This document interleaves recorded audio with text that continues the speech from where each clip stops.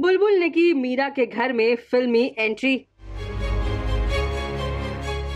क्या बुलबुल ने हथिया लिया है मीरा का घर?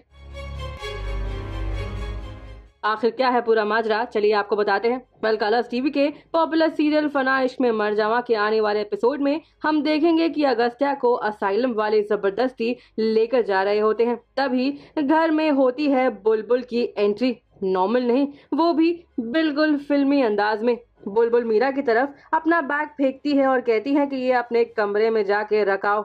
बुलबुल का कहना है कि आने वाले वक्त में वो बनने वाली है इस घर की मालकिन। जी हाँ बिल्कुल सही सुना आपने। बुलबुल का ये अवतार देख हर कोई दंग रह जाता है। वेल, बुलबुल आखिर किस तरह करेगी? मीरा के घर में कब्जा, वो भी अगस्त्या को बचाने के लिए। ये देखना काफ़ी इंटरेस्टिंग होगा। फिर आने वाले एपिसोड पर क्या है आप सभी का कहना कमेंट्स के ज़रिए हमें ज़रूर बताएँ। साथ ही टेलीविज़न से जुड़ी तमाम लेटेस्ट अपडेट्स के लिए हमारे चैनल को सब्सक्राइब करना ना भूलें।